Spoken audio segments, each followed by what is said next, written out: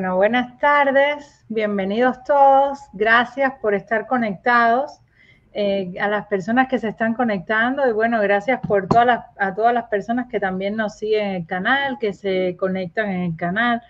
Pues hoy tenemos un invitado muy especial, eh, Carlos Villalobos, no sé si le gusta que le digan más Carlos o Carlos Manuel, no sé, porque en Cuba sí se, se, dice mucho Carlos Manuel, porque sabes que el padre de la patria es Carlos Manuel de Césped. Entonces hay, eh, siempre ese nombre se respeta, ¿no? Se llama Carlos Manuel, pues Carlos Manuel, por el padre de la patria. Pero si te gusta más que te digan Carlos. Todas las opciones son válidas. Ah, bueno. Pues entonces te decimos Carlos. Bueno, bienvenidas todas las personas que están, bienvenidos a Carlos.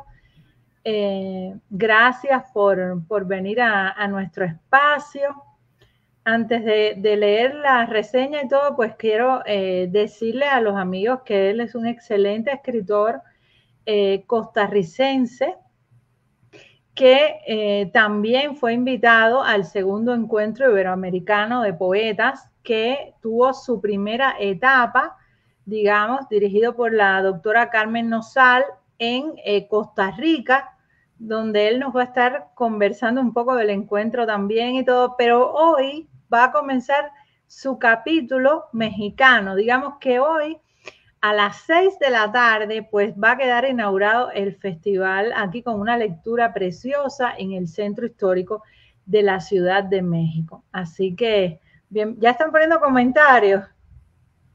Vivian, Vivian, gracias, gracias por, por estar siempre conectada eh, con nosotros y gracias por, es un público, Carlos, de personas que leen poesía, que siempre están muy interesados en los poetas, en sus historias, en su vida, en su obra, en todo.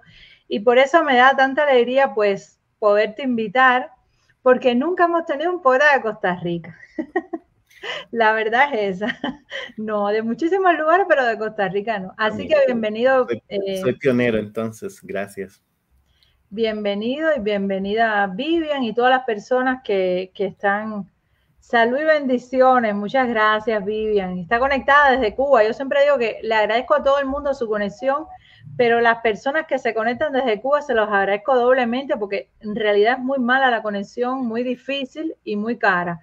Así que gracias por estar conectados con nosotros. Bueno, pues Carlos Manuel Villalobos, Costa Rica, 1968 entre otros reconocimientos, ha recibido el premio de la edición 34 de cuentos Ciudad de Coria, España, Premio Internacional Diario Jaén de Novela Corta, España, Premio Internacional de Poesía Vicente Rodríguez Nish de Puerto Rico, Premio Internacional de Poesía Dolor Alberola de España y Premio Una Palabra en el género cuento Costa Rica.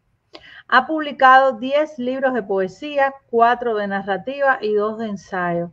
Entre los más recientes destacan Donde Nadie, novela 2024, eh, Un río sonámbulo, qué interesante el título, ¿verdad? Un río sonámbulo.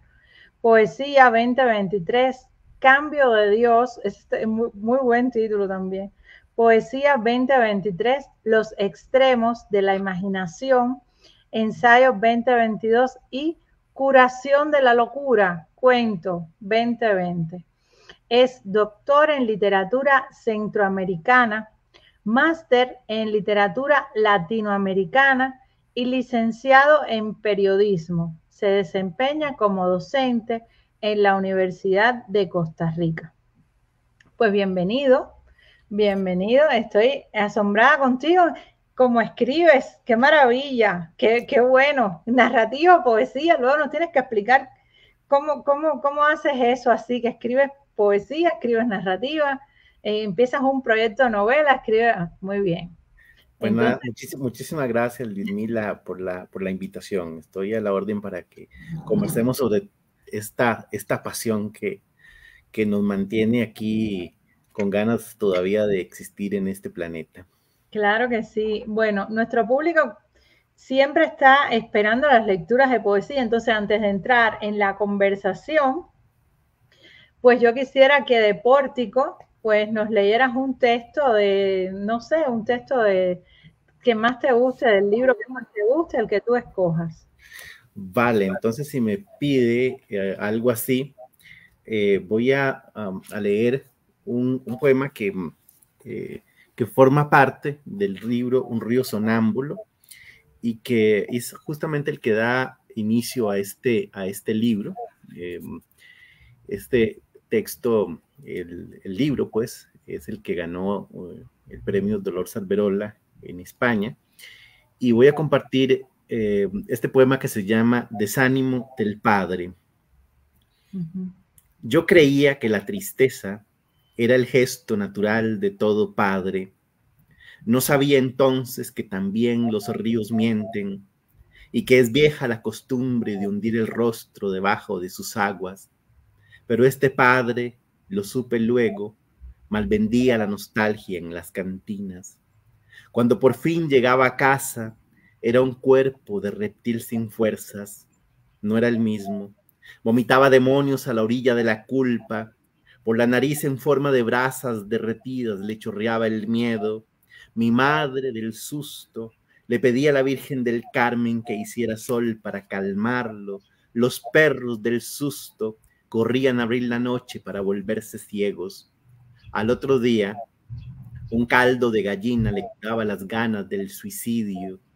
Y entonces juraba que no iría nunca más a morder el agua del desánimo, me lo juraba con los dedos en cruz sobre la boca, me lo juraba por el sagrado corazón de Jesús en el Calvario, pero los ríos son débiles y les mienten a los niños como un padre cuando tiene sed y nada lo detiene.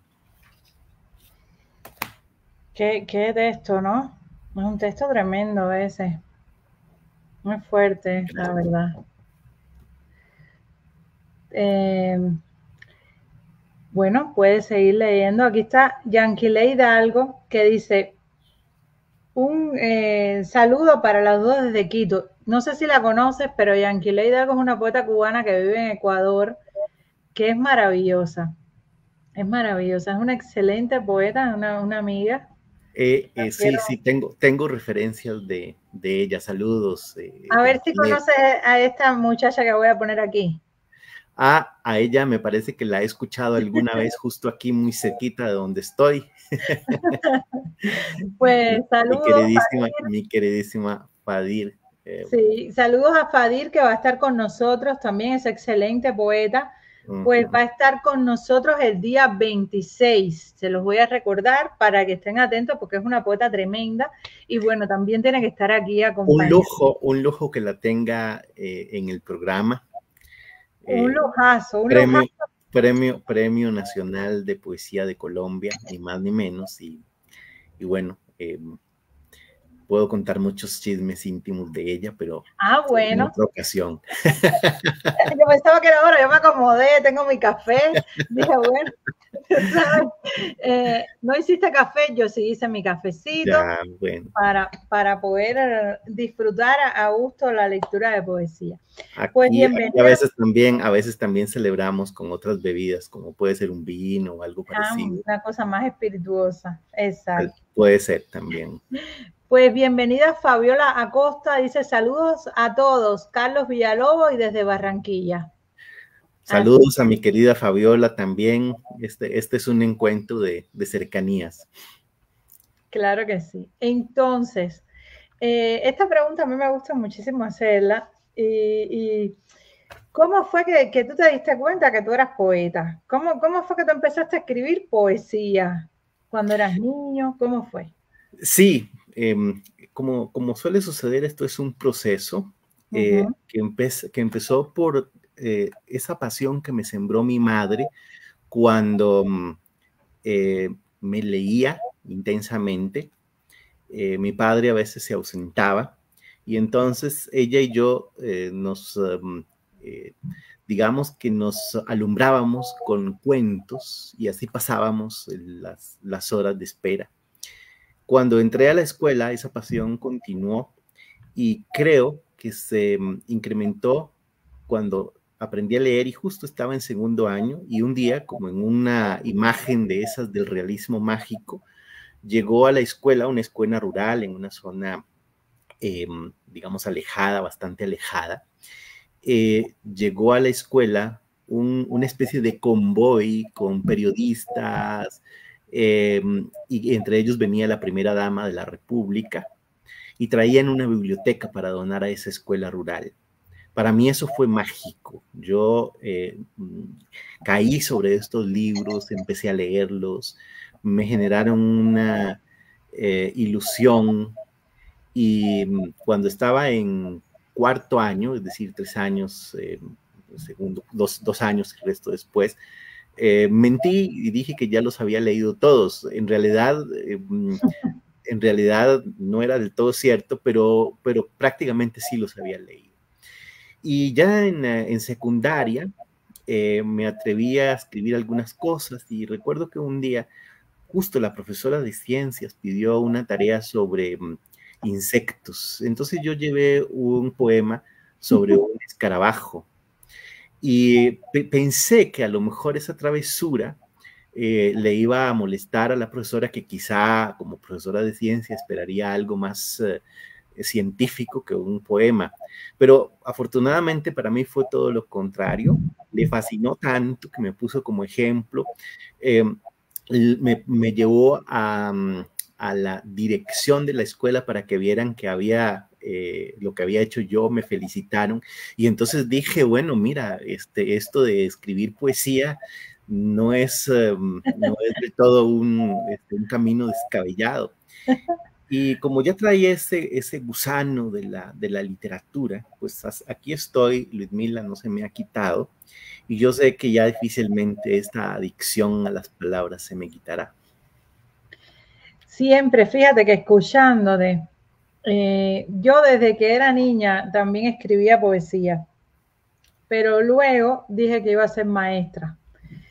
Y, qué importante es un buen maestro, ¿verdad? Porque mira esa maestra que te llevó a la dirección, que te alentó, que te dijo, siempre uno encuentra un maestro. Por eso, por eso yo siempre eh, voto por eso, ¿no? Por los maestros que te iluminan el camino, que te, que te, que, te hacen ver que todo es, eh, eh, es importante, ¿no? La poesía, los pequeños momentos que no, no es tan importante tener una calificación súper alta como leer, como, como eso, eso es importantísimo. Y en tu caso, importantísimo. Sí, sí, creo que sí, supieron eh, motivar y eso es Ayudarte, claro. Ayudarte con tu, porque tú vivías en, el campo prácticamente, en una escuela rural. Yo soy de una, zona, de una zona rural. Curiosamente, tiene un nombre muy poético, por cierto.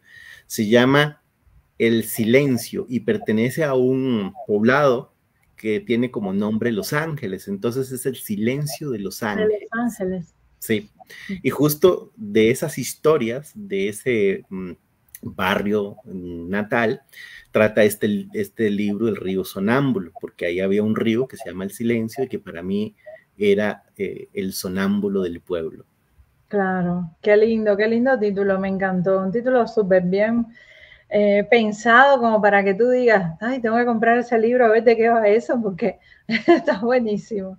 Eh, saludos para Manuel Aristizábal, que dice, saludos al poeta Carlos Villaló, un gran Un saludo, Manuel, también. Saludos para usted.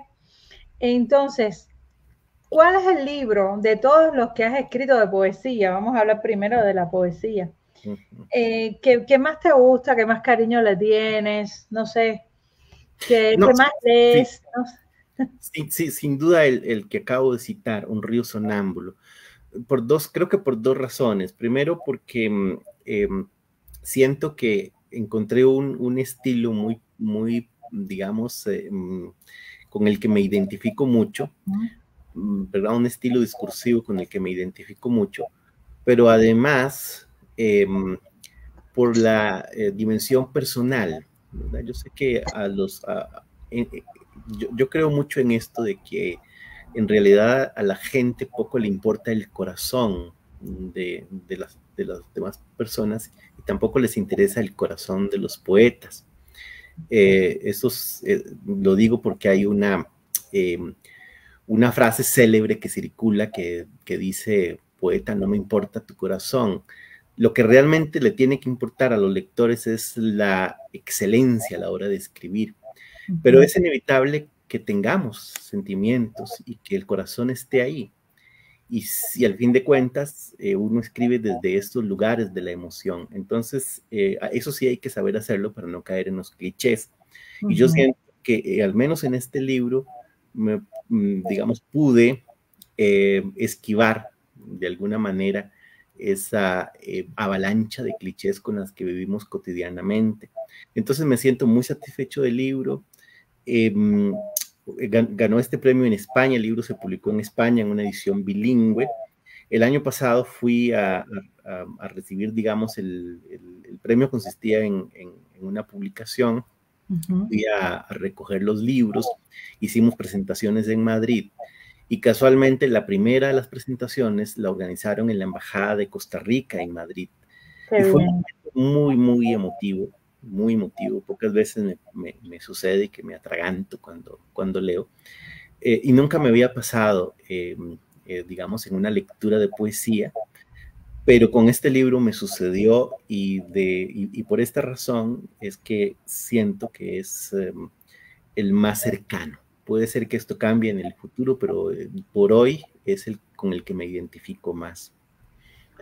¿Y dónde se pueden encontrar los libros? ¿En Amazon se pueden comprar? Sí, sí, se pueden conseguir en línea, se pueden conseguir en Amazon.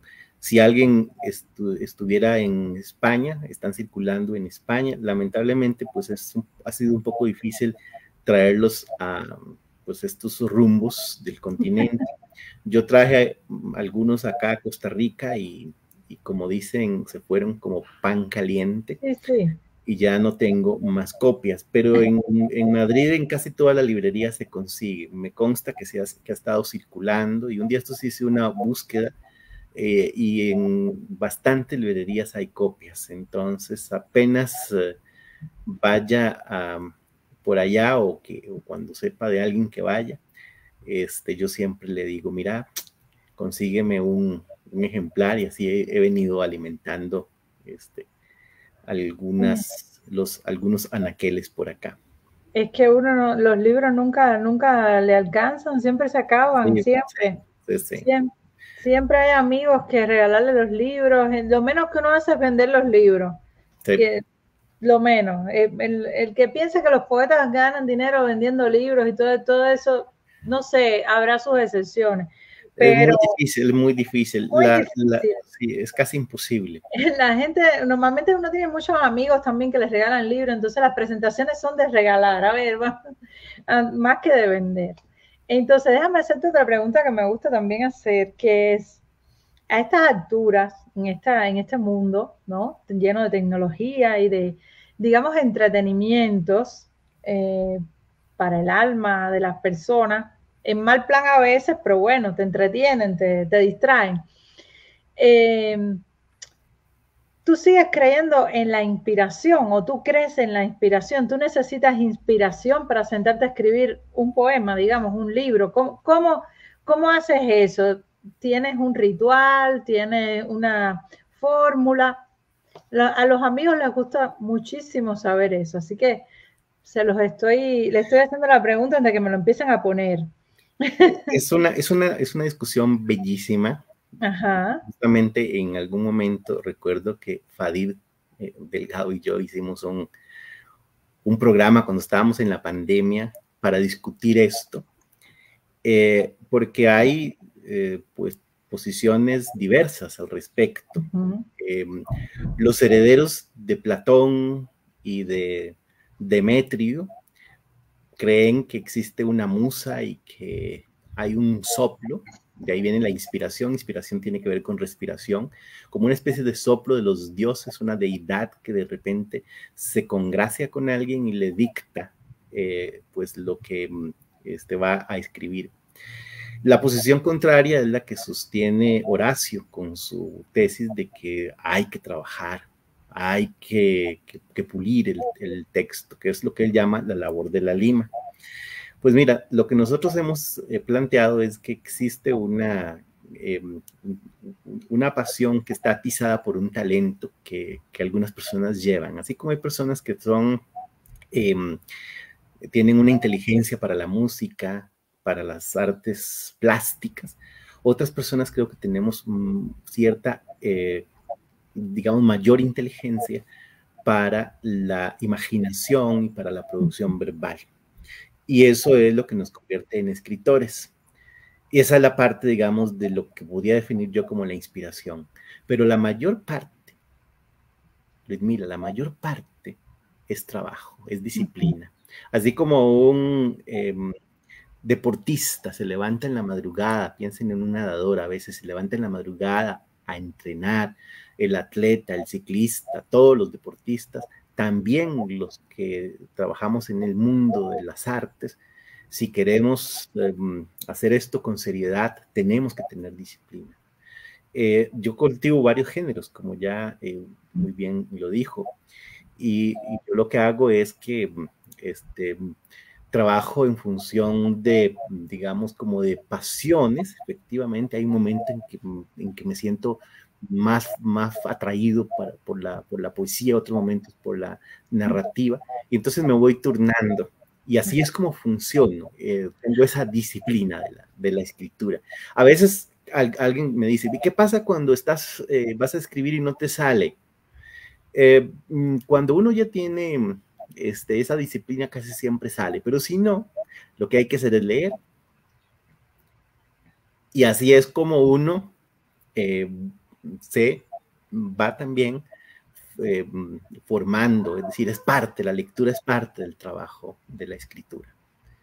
Claro, y por supuesto, no, y si te, y yo siempre digo, eh, uno tiene a veces la sensación del poema, es como una sensación, ¿no? Que tú o ves una imagen o, o pasa algo frente a ti en la que tú dices, ahí hay un poema, ¿no? Es como una sensación, porque no, no, no, te, no sé explicar, pero yo lo escribo y es eh, el poema. Por supuesto, hay que trabajar mucho, eh, pero... Yo, yo, digo que es como una, una serpiente que te muerde en la psique, en la parte de la enseñación. A veces yo sueño algo y no estoy tranquilo hasta que no, eh, no lo digo. A lo mejor eso es la inspiración. Sí, yo, yo pienso que una dosis de inspiración tiene que haber, porque eh, no todas las cosas son motivo de poesía también, no, no todo, tú, tú, puedes decir ahora voy a escribir un libro de, no sé, de algo muy árido, muy, no sé cómo te saldrá, pero sí tener la idea. Yo siempre le digo a, mi, a, todas las personas que están en mi, en, en mi taller, que vienen a los talleres de escritura, a escribir se aprende escribiendo. Sí. Porque, mm, ¿qué te puedo decir? Yo te puedo recomendar lecturas, yo puedo, pero yo no puedo escribir por ti. Tú tienes que sentarte y escribir. Ah, me salió esto. Bien, sobre eso vamos a trabajar.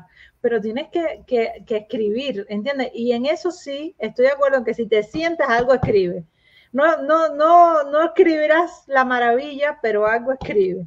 Y también a mí me ha pasado que como, como que de noche me despierto a tomar agua, algo, pero me despierto igual que tú con una idea que vino del sueño y eso lo escribo.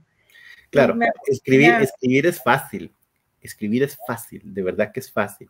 El gran reto es convertir en un texto literario eso que uno escribe. Y el trabajo es la reescritura, es pulir.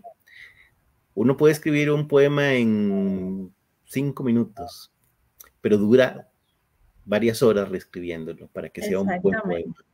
Y bueno, de todo lo que escribes, hay un gran por ciento que nunca publicas, ni no, no lo desechas porque dices, no, esto yo no, no, no, no me parece que, que, quepa aquí, que quepa allá, ¿no? Son, son cosas como que, y, nunca terminas tampoco de revisar los libros cuando los van a, a editar, tampoco terminas, siempre los reescribes y los reescribes hasta que ya el editor te dice, ya está bueno, ya, se acabó, hasta aquí. Porque cuando vas a publicar el, cuando ya vamos a terminar con este manuscrito, ¿no? Porque también es parte de eso, de la exigencia, de todo. Me parece bien. A mí incluso cuando yo los libros están publicados me da miedo leerlos. Cuando lo abro así digo, ay, Dios mío, que abre, aquí seguro que hay cosas que yo tenía que haber arreglado. ¿No, no te pasa eso a veces que tú dices? Suele pasar, suele pasar, siempre, siempre. Sí, entonces eso es un proceso, como dices tú, arduo y, y uno como que se va, eh, nunca descansa. Yo, yo estaba viendo ayer una entrevista de Borges en el que Borges dice que el poeta constantemente está trabajando, el poeta está mirando las cosas, pero está trabajando, está buscando cómo puede traducir eso en palabras eficaces, ¿no? Y, bueno, contrario a lo que dice todo el mundo, que los poetas son unos vagos, ¿sabes? Entonces, esa es la idea que tienen de nosotros, que somos vagos y que, bueno, imagínate tú un poeta, la gente dice, ¿qué hace? No, escribo poesía como decían las maestras a, mi hija, ¿y tu mamá en qué trabaja? No es poeta, pero ¿en qué trabaja? y entonces, eh, bueno, un chiste, pero puede ser así. Sí, sí, algunas, algunas personas imaginan, imaginan que, mm, que esto de, este, del arte son hobbies, son pasatiempos, son cosas que hacen las personas eh, cuando tienen algún, algún momento para disfrutar de la, de la, vida. Y no, no es así. Los, si uno quiere tomarse esto en serio, em, si, lo, si, lo, quiere hacer de verdad de manera profesional, si quiere andar este camino de la, de la, del arte, de la literatura, de la palabra, eh, tiene que, como dije antes, tener mucha disciplina. No es, una, no es un pasatiempo, es, es una pasión que va más allá de, de un rato por allá. Los que hacen esto, yo no me los tomo muy en serio. Cuando alguien me dice, yo este, soy poeta, escribí un libro y, mm, pero tengo como tres o cuatro años de que no volví a escribir. Bueno, pues eh, mira, en, esas, bajo esas circunstancias, yo también soy fotógrafo, porque alguna vez en mi vida he hecho fotografía. Bajo esta misma premisa, soy pintor, porque alguna vez he pintado algunas cosas por ahí. Y, sin embargo no me atrevo a, decirlo. Claro. Fabiola Acosta dice, la imagen sola no es la poesía, es el verso. La poesía completa es el trabajo de cada día. La poesía se inicia con la visión, pasa a las entrañas y se termina con el cerebro. Pues gracias, Fabiola. Muchas gracias. Muy bien. Muchas gracias por esta definición. Entonces, vamos a hablar un poquito de la narrativa, de cuándo publicaste tu primer libro narrativa, eh, cómo, cómo empezaste a escribir, siempre empezaste escribiendo cuentos, que me imagino que sí, pero bueno, no sé, a lo mejor empezaste escribiendo una novela, no sé. Eh, coméntanos un poquito eso, porque también nos están eh, preguntando sobre todas esas cosas. Saludos a Paul Benavides Vilches. Bueno, pues Paul, ya él va a contestar la, pregunta. Pues eh, primero un saludo a Paul, a Paul Benavides. Muchísimas gracias por la interrogar, eh, participar con, la, con esta pregunta. Em, bueno, mira, yo escribí, intenté escribir, desde luego, de una manera malograda, porque fue una eh, un experimento muy de adolescente que no fructificó para nada. Em, este, escribí una novela, una novela fantástica o más bien de ciencia ficción, no sé cómo decirlo, eh, de esta imaginación em, de que de que, de que un niño había sido raptado por extraterrestres, toda una historia que se la leí algunas veces a amigos y les encantaba. Pero bueno, ya para esta época me pareció que fue este, un ejercicio de, iniciación que, no fructificó, desde luego. Pero ya como, como para, para efectos de, un trabajo que ya pulí, que logré publicar con, seriedad, fue una novela que eh, se titula el, este, el libro de los gozos Em, es una, novela que se basa en la historia de un predicador callejero que de verdad existe, al que a mí me, me fascinaba su excentricidad. Entonces construyó un personaje igualmente excéntrico.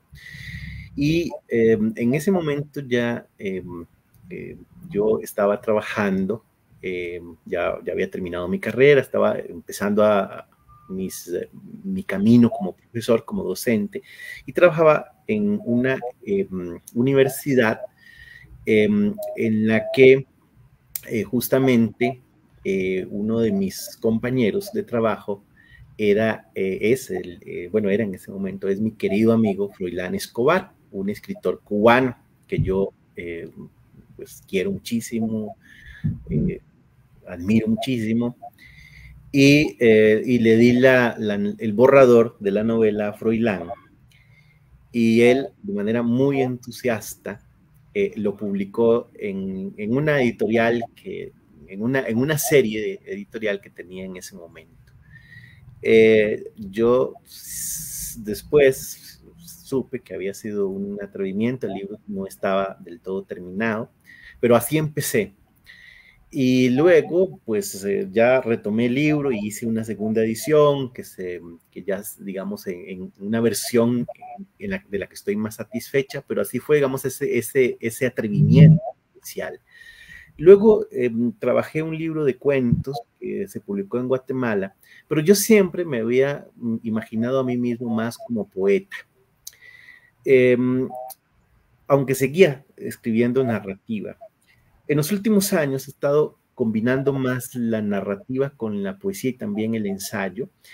Y mm, mm, en un momento, en un momento, eh, me encontré un, escritor acá costarricense que me dijo que a él lo convencía más mi estilo narrativo que mi, este, mi estilo poético. Mm, yo no estuve de acuerdo para nada con él, pero lo que sí es cierto es que mm, eh, me atreví más a, trabajar la narrativa y ahora me doy cuenta de que me ha ido bien en ambos géneros. Es muy difícil. Normalmente yo em, sostengo que hay narradores a los que no se les da bien la poesía y hay poetas a los que no se les da bien la narrativa.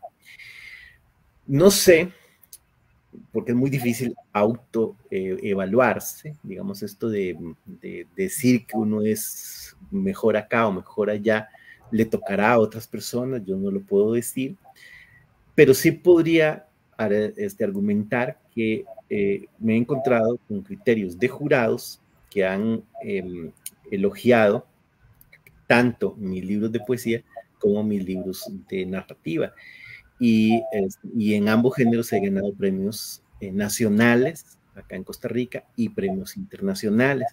Entonces ahora pues eh, me siento un escritor, un escritor en todo el sentido de la palabra, que yo géneros y ya no me hago líos con esto, disfruto por igual ambos géneros y mi, trabajo es el trabajo de la palabra. Exactamente, sí, porque escribes ensayo también. O sea que, que, que eh, escribes, escribes, escribes. Sí, y, en la historia de la literatura, pues hay muchos, muchos ejemplos de autores que cultivan todos los géneros eh, y más o menos les va bien en, estos géneros. Hay excepciones, desde luego, pero yo em, hasta el momento, hasta el momento puedo decir que mm, mm, me muevo en, en todos estos campos. Ahora, hay algo que sí quiero decir. Como siempre me, como siempre me, me identifico como, poeta, el, digamos que este, ese tejido lírico, ese tejido poético también siento que lo utilizo para escribir la narrativa. De hecho, fue muy, muy gratificante que una de las razones por las que me dieron el premio de novela en España, en el premio de Diario Jaén, con la novela Donde Nadie, que es un, texto, eh, digamos, de denuncia, etc. Em, uno de los, de los argumentos es, es justamente la, el trabajo poético de fondo del, del, proyecto escritural. Entonces, me, sirve, le, sirve eh, al narrador que detrás haya también un poeta. Claro que sí, muchísimo, muchísimo. Entonces, por favor, léenos eh, un par de textos más eh, algunos textos de Ivo Maldonado, saludos para ti, ese excelente poeta. Chileno, querísimo, Ivo, qué gusto. Peter Velari, Eh, el querido poeta Juan Carlos Recio, poeta cubano excelente, maravilloso, que vive en Miami, que yo quiero mucho. Le mando un beso grande. Y bueno, bienvenidos todos, bienvenidos todos. Saludos, saludos a los que andan por ahí eh, acompañándome en estas, en estas, en estos, en estas adicciones. Voy a compartir un poema que se llama Asma. Yo nací con un gato adentro que maullaba noche a noche. Dormido en mi pecho, hablaba de los truenos en una lengua de fantasmas. Mi madre lo alimentaba con aceite de tomillo, pero el gato que ni quería conocer el aire, quería conocer el aire, y me aruñaba los pulmones como si ahí estuviera la puerta de una cárcel. A veces tapaba mi faringe con orugas y no había otro remedio que matarlas con el ruido de un caballo. No servía el humo de los grillos ni el agua de la piedra virgen. El gato quería conocer el aire, quería conocer el aire, y yo escuchaba sus rosarios y las uñas del insomnio, y un pequeño colibrí encerrado en el fondo de su pobre pecho. Tal vez lo asustó la hierba de mascar recuerdos que tenía mi padre, o quizá la aguja de tejer hechizos con que hilaba abuela las palabras de cada día. El caso es que una tarde, no sé cómo, el gato abrió mi boca y saltó por la ventana. Está muy bien. Y bueno, me gustaría también leer em, el poema que em, cierra este libro, que se titula El río que matamos y que tiene que ver con una historia también de, ese pueblo, el silencio que ya cité. Eh, había un río cerca de mi casa, un día dragaron el terreno y para mí fue terrible porque este, una ciénaga llena de lirios fue destruida y el paisaje pasó de la, de la noche a la mañana a un lugar sin la foresta, a un lugar árido. Para mí mataron el río.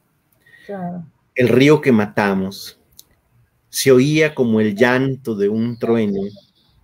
Llegamos a pensar que tal vez era el alma en pena de un volcán con ira.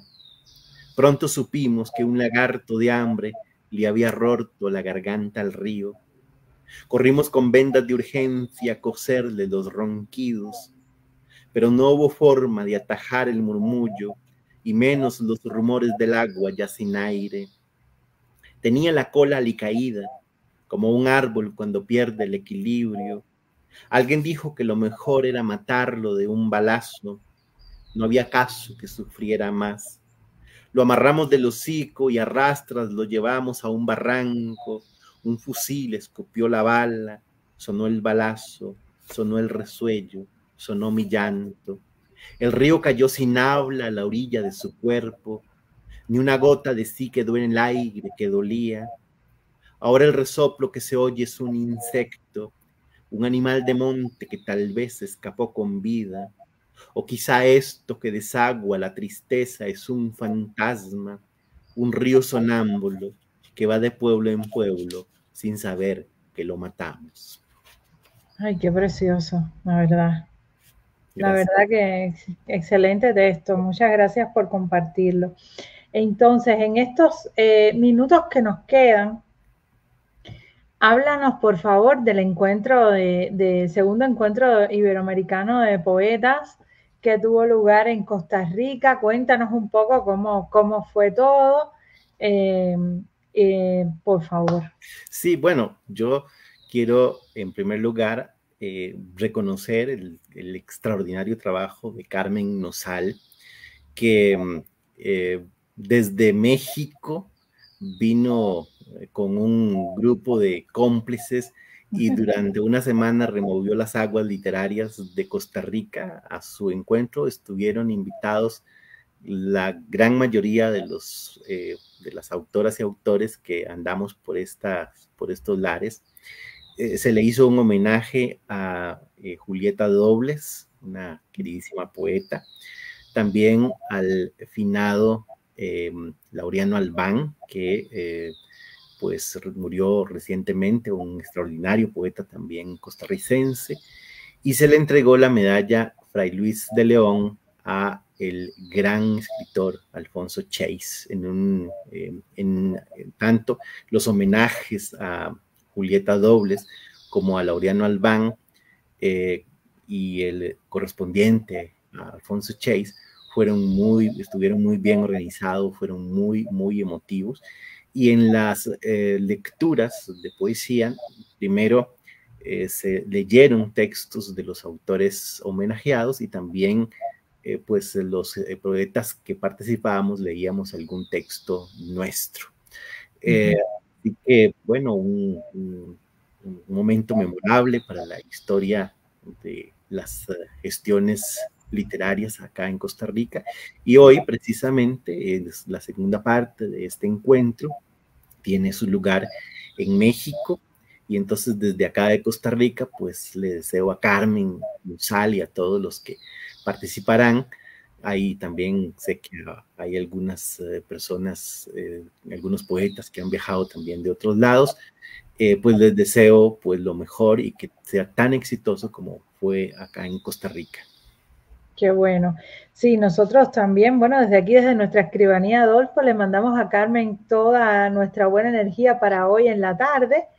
Y, y bueno, en un ratico, pues sí, yo voy para allá también, entonces veré qué tal la, inauguración y todo, pero estoy segura que va a quedar muy bien.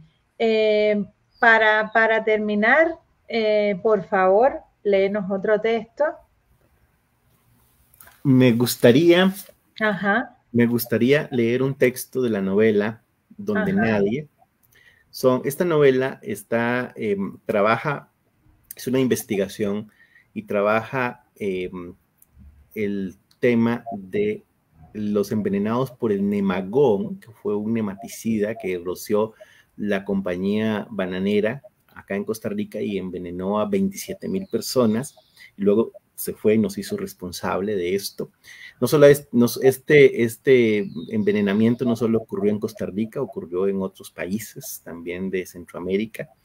Y entonces em, estas personas han estado luchando para que sean indemnizadas y desafortunadamente pues han eh, tenido unos eh, este, escollos eh, complicadísimos.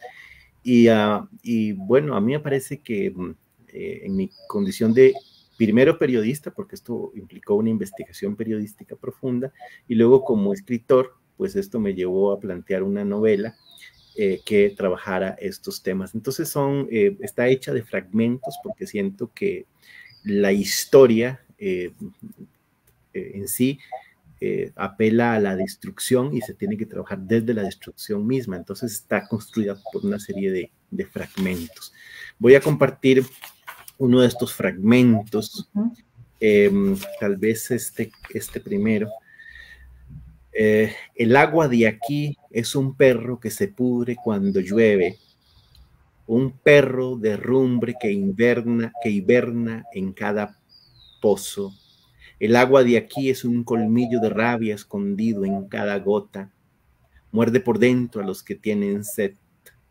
Es la orina de la muerte, el idioma con el que habla el viento cuando está borracho.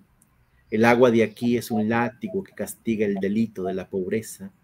De esta agua beberán los que nadie quiere ver. Y cierra con un fragmento que se titula justamente Donde nadie.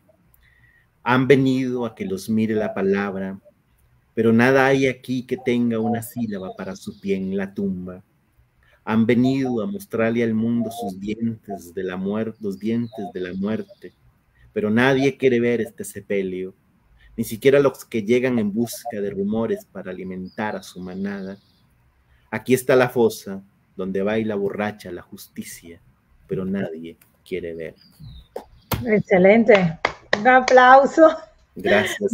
es que, claro, son como prosas poéticas, por eso es que te dicen esas cosas, te dicen, es que, es que el poeta asoma mucho, es que, pero son como prosas, unas imágenes así súper fuertes. Sí, sí, en realidad es, un texto que se compone de varios registros, hay testimonio, hay, eh, digamos, hay diálogos, pero, pero, pero está atravesado por, esta, por estas prosas poéticas, sí. Está muy bien. Eh, excelente. Muchísimas gracias por, acceder a, nuestra invitación. Eh, Lilia Ramírez eh, dice, saludos al gran escritor y poeta Carlos Villalobos, mi admiración por siempre. Lilia Ramírez, escritora. Así que un Queridísima Lilia, un gran, un gran saludo y qué honor que esté por acá pendiente. un saludo también, a ver, aquí también estaba. Eh, bueno, por supuesto, para Paul Benavides, que también eh, está viendo el programa, Ivo Maldonado, eh, a Fadir, bueno, querida, gracias por acceder a nuestra entrevista también. Nos vemos el jueves 26, así que gracias. Ahí con Fadir sí hablaré de cómo es vivir con, un, con, con otro escritor y todo eso. Voy a dejar eso para seguir al final ella es la que va a contar los chismes y no yo. Segunda, segunda eh, parte, es como una temporada. Eh, parte de esta temporada para hablar con, de ustedes y de su trabajo y de su vida también, porque las personas eh, también necesitan saber cómo, cómo son los procesos, ¿no? Cómo viven los escritores su día a día. Generamos, ¿Cómo generamos esta alianza, que es una hermosísima alianza con una, con una gran poeta y con un conjunto de poetas que que, hemos hecho, con los que hemos hecho una complicidad y que mm, este, se acercan con frecuencia por acá y en otros lados a, celebrar la palabra. Claro. Saludos también para Olga Lidia Casarvilla, eh, que también nos está diciendo que, que, bueno, que te manda un saludo y todo. Igualmente, saludos. Pues saludos para, no sé de dónde nos está viendo Olga Lidia, pero bueno, donde, de donde nos estén viendo todos, donde nos esté viendo Paula, de donde nos esté viendo eh, Marta Isabel y bueno, todas las personas que están aquí, pues muchísimas gracias por venir a escuchar un poco de poesía. Hoy tuvimos el grandísimo eh, honor de tener aquí a este excelente poeta, narrador, ensayista, un escritor en general, vamos a decir, un alma creativa, una persona inquieta. Entonces, muchas gracias por acceder a nuestra entrevista. No será la última vez que vengas y, gracias, la verdad. Solo me muchas gracias, muchas gracias a mm, este, Mila. Eh, aprecio muchísimo esta gratísima conversación.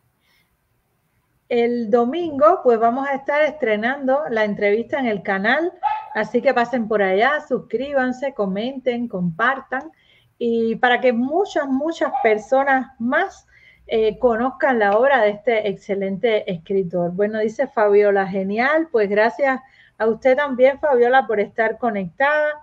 Gracias a todas las personas que pasaron un ratico por aquí y gracias especialmente a ti, Carlos. Gracias por porque dejaste de, trabajar para sentarte un ratico a, escribir, eh, perdón, a hablar con nosotros que sabemos que este tiempo es, es, fuerte, ¿no? De, de esto, es parte, esto, es, esto, es, parte de la pasión. ¿no? ¿no? pude hablar contigo de la universidad, pero bueno, en otro momento hablamos. Pero que ya empezó el semestre, empezaron las clases, ya es más difícil todo. Así que muchas gracias por estar también en este momento con nosotros. Un beso grande para ti, para todas las personas. Muchas gracias. Y no será la última vez, así que un abrazo y gracias por estar. Vale. Chao, hasta pronto. Chao, gracias.